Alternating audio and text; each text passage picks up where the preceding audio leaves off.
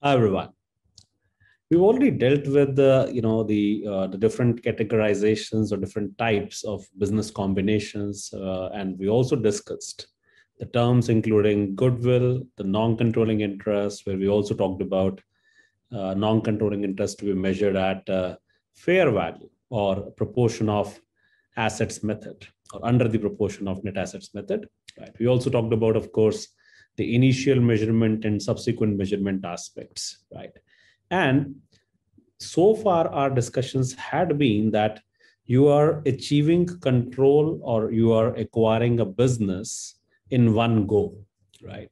As if you never had any uh, stake already when you assumed control over the business. So effectively, you're talking about something like a 0% to a 100%, or maybe a, a 0% to an 80%, or maybe a 0% to, let's say, a 75%, right? That is something that we had discussed so far in our conversations. But what we also now like to discuss is what if the business combination is not achieved in one go, but it's achieved in stages, right? You already have an existing stake in a business, right? It is not a sufficient or enough stake to call it a control, right? It could be a very, very, very little stake, let's say 5% or 10%, as if it's a normal investment in shares of another entity, right? Or it could also be a significant enough stake, could be, let's say, you know, a 35% or a 40%, right? And then you enhance your stake in that business to achieve a control on that business. And that's where you say the, the business combination is achieved in stages, right? So this particular section, we want to talk about how is this existing stake accounted for, right? How does this entire movement come in from of accounting? That is something which is the thought process underneath this particular discussion of business combination achieved in stages, right? Effectively, we can say we are moving from a non-control scenario to a control scenario, right?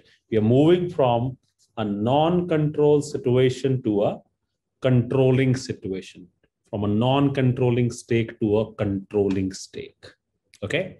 And now you want to remember the day you control, the, the, the day you assume control is when you achieve the business combination. And, and on that date, you shall recognize the accounting. You shall do the accounting for the goodwill. You shall consolidate the net assets of the other entity. There is a possibility of not having a hundred percent you know stake in the other business so on the same date you would also be recognizing let's say the non-controlling interest okay but then this would only happen when you have assumed control. Okay? Which which suggests that now you have a control over the 100% of that business even though you may not be owning 100% shares in that entity. That's what control is all about by the way. Okay? So when we say we are moving from a non-control to a control situation right our existing stake right whatever we had already was it 10% or 5% or a 35% we assume that that is de-recognized as if notionally you haven't done anything about it by the way but it's assumed that you have notionally sold off that and reacquired that at its fair value okay? That is how the accounting treatment is dealt with as far as the business combinations in stages is concerned. Okay? Let's try to understand. Let's try to understand this with the help of a small scenario. Okay? Let us say there is a company X which has a 10% stake in company Y. Let's say the cost of that stake is rupees 5 crores, right? So company X shows this investment at 5 crore rupees and and and and continues with with uh, whatever uh, dividend etc received you know to the to the extent of the 10% share that company x has got. So if y is declaring some dividend of course that is recognized as an income by company x right? Now it's not a significant stake. It's hardly 10% there later on company x acquires additional 70% stake in the business and on this date it is assumed that the control has been achieved. Okay. Earlier, it was a non-control scenario or a non-controlling stake, but now it is a controlling stake, right? Which is, of course, initial 10% plus additional 70%, makes it over to total 80% of course, right? Now, what we are expected to know, what we are expected to do at this point in time, the day you control is the day you consolidate. The day you control is the day you consolidate, which means that on this date, goodwill will be recognized. The net assets of the other entity of the acquiree will be consolidated by the parent company in the group financial statements, right? And the existing stake, which was bought for, let's say, 5 crore rupees in this scenario, that will be remeasured at its fair value. Okay, right. For the sake of argument, if I say that the fair value of this amount is, let's say, 12 crore rupees, right? Essentially, we are saying that the total purchase consideration for that 80% stake, right? Importantly, it's not 70% now. It is 10 plus 70, right? So the purchase consideration for that 80% stake will be, of course, measured at fair value. That's what we had been doing throughout.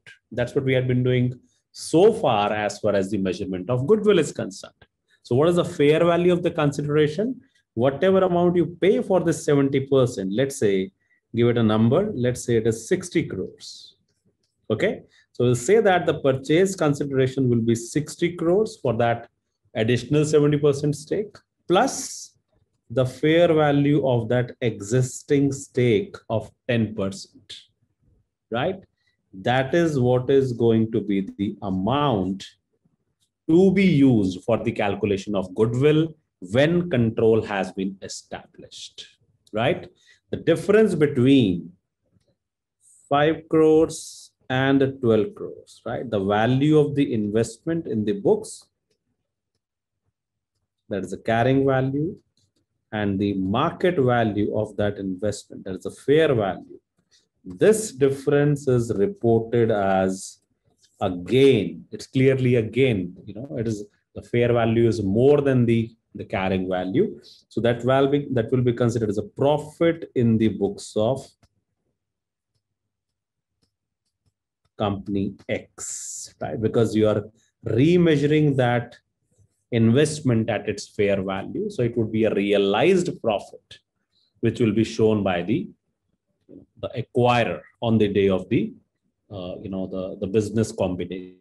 There. That is something which is the the concept which is applicable when you move for when you do accounting for the business combination which is acquired in stages right? When you move from a non-control to a control scenario you start consolidating right? When you control is when you consolidate. That's something that you want to remember as a concept right? Look at the date of that additional stake. That is the day when you start consolidating. All right, let's have a look at this scenario.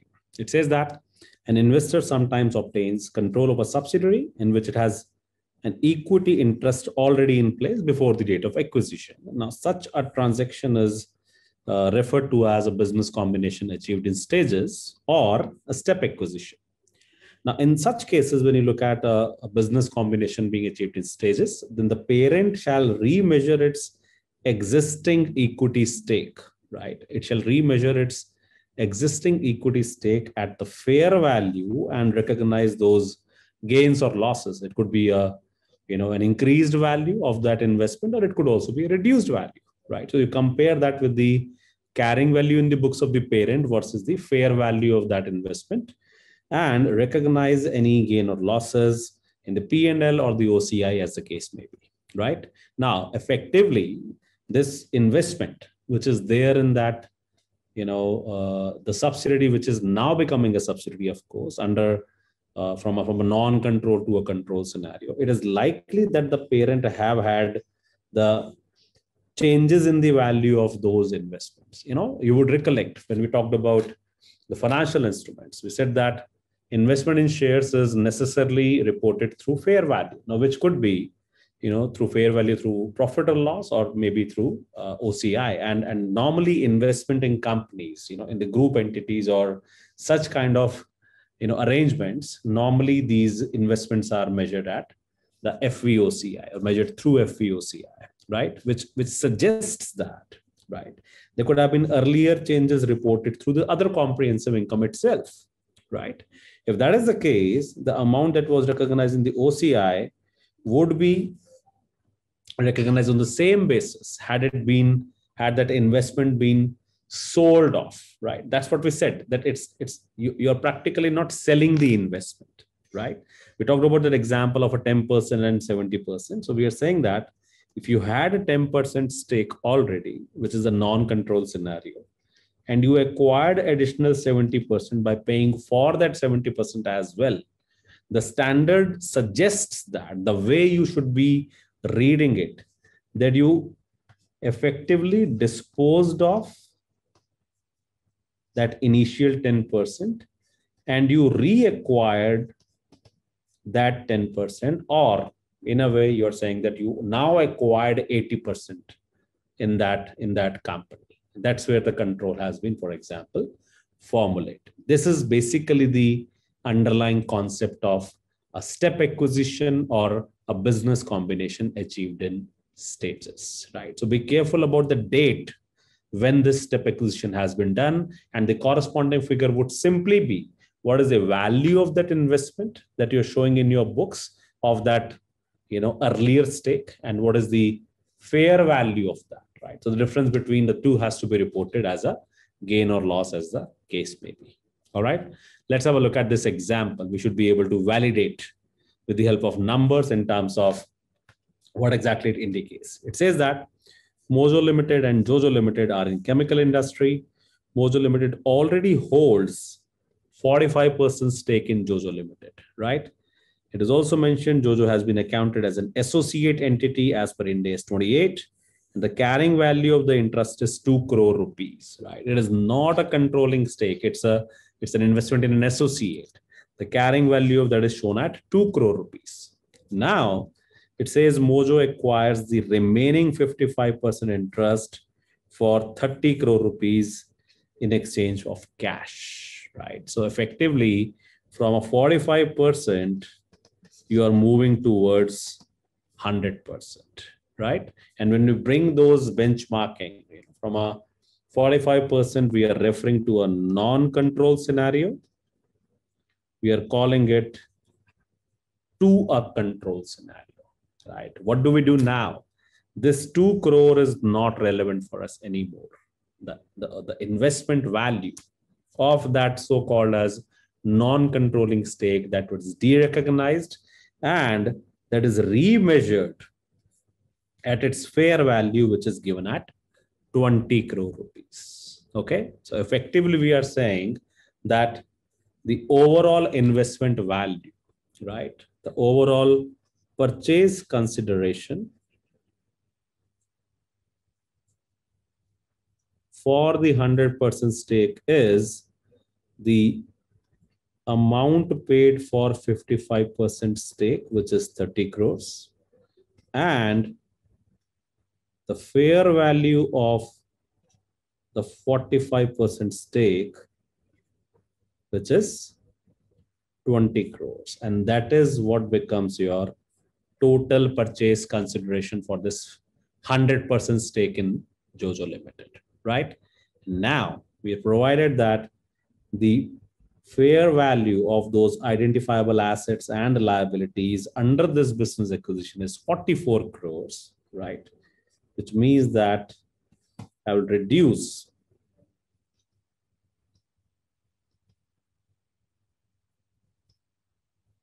that amount. Effectively, we are saying you're paying 50 for a business worth 44, simply resulting into the recognition of a goodwill, right? That's a straightforward, you know, transaction that we do in this case, right? If I were to bring it in an accounting form, in, a, in, a, in the form of a journal entry, we are simply saying debit those net assets. What you control, what you consolidate is 44. Credit the purchase consideration which is of course 30 crores for the additional stake. Credit the investment in associate, right? You are de-recognizing that,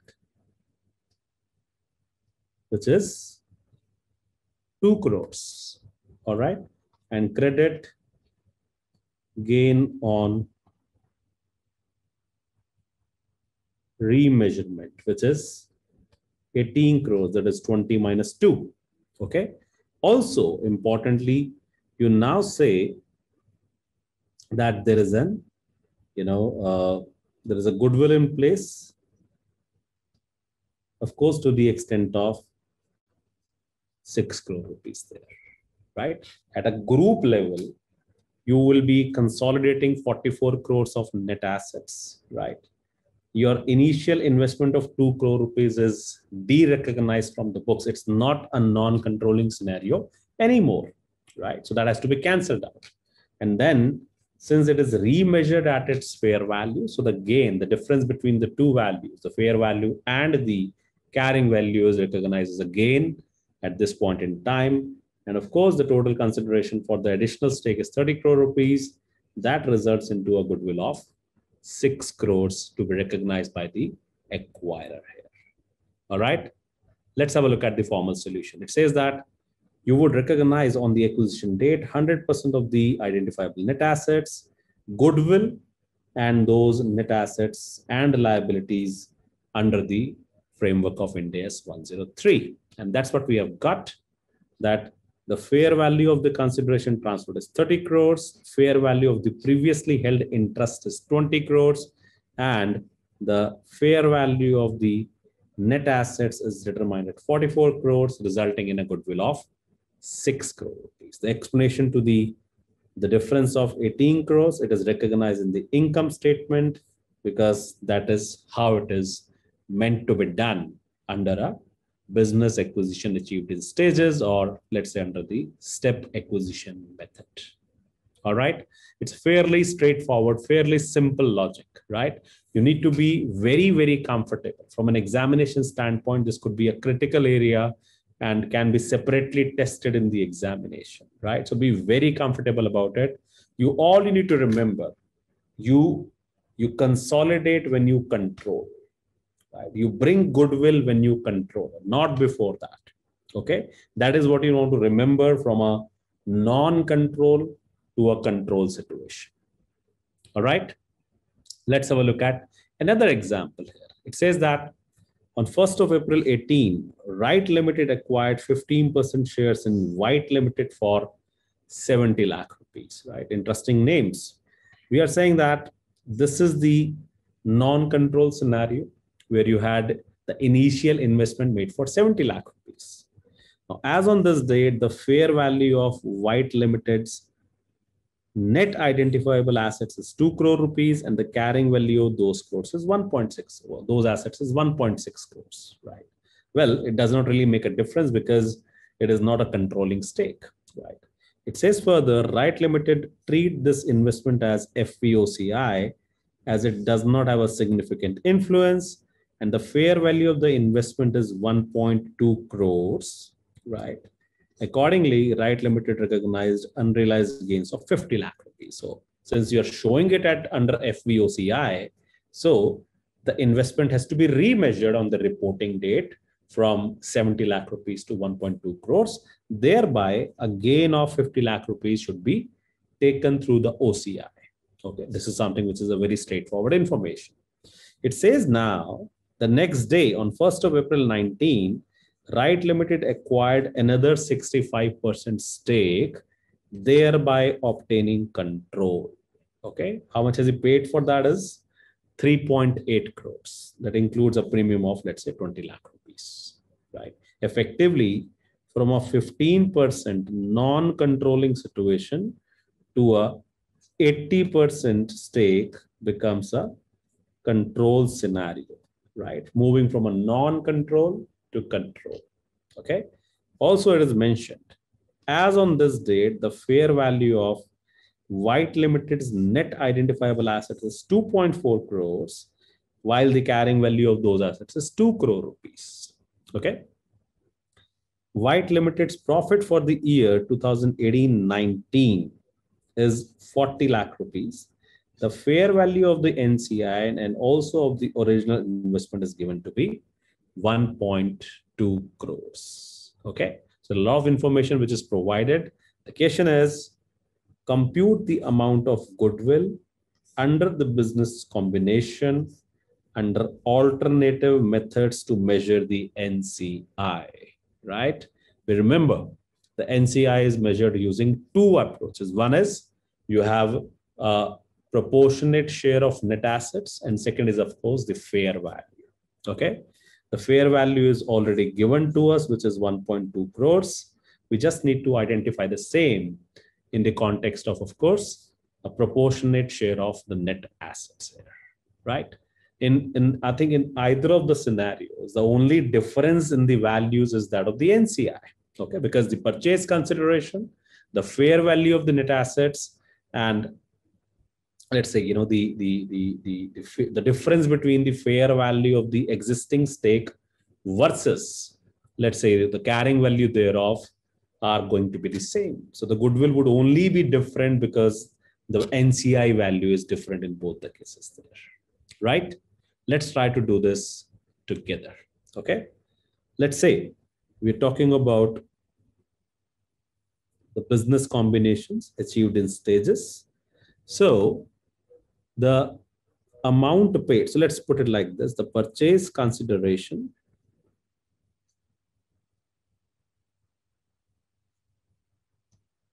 let's look at these uh, approaches. So one is fair value and the other one is proportion of assets.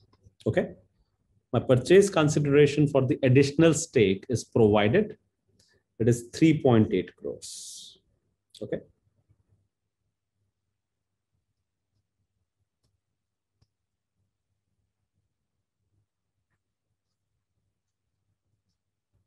That would remain the same in both the scenarios. Okay. Then we are looking at the fair value of existing stake, right? This is also provided, which is 1.2 crores.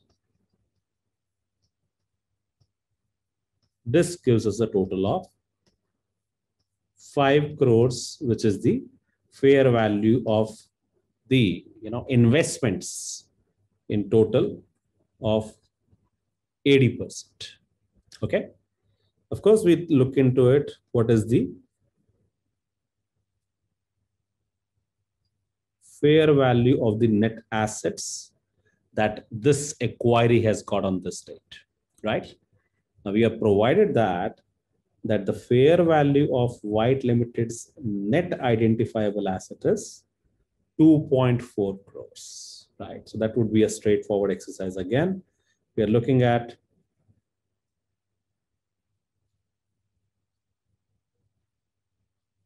Two point four crores. Okay essentially all we are left with is the calculation of NCI in both the cases. And the NCI's fair value is given any which ways, which is 1.2 crores, which means that as far as the fair value method is concerned, I can plug in this value straight away.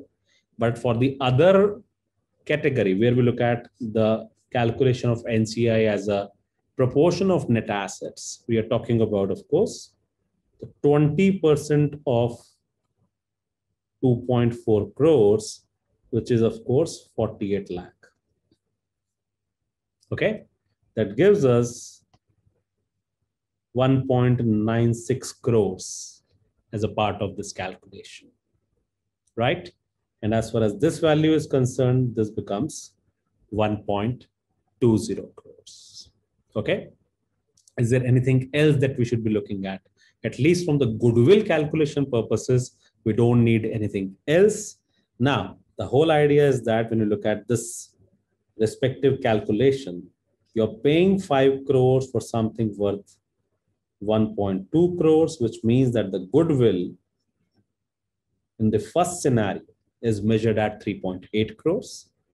And in the second scenario, we can simply argue that this is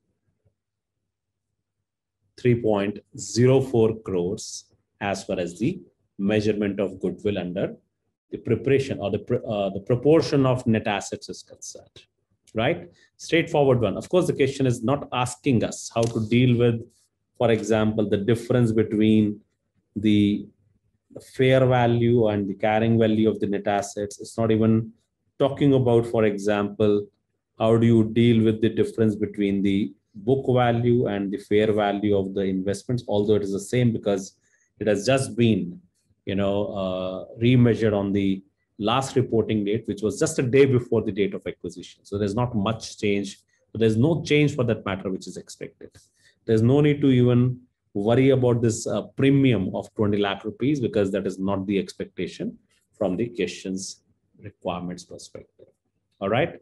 So this is what we have got 3.80 crores under the fair value method. That's a full goodwill, right? And 3.04 crores under the proportionate of uh, proportion of net assets method, which is the partial goodwill calculation, right? Let's have a look at the formal solution. We are saying that this is what we have got, the two values, which are, let's say 3.8 and 3.08 crores. Let me go back to the numbers, if you got the right numbers there for us. It's 3.04 here. Let's see if you got it right there. Yeah, that's what we wrong. Wrong, it is 48 lakhs, this is 1.92, and thereby this is 3.08, okay? And that's what we have got the answer. Under Ind AS 103, the following approach would be followed remeasure the investments to the fair value, which is 1.2 crores. That's what we have already done.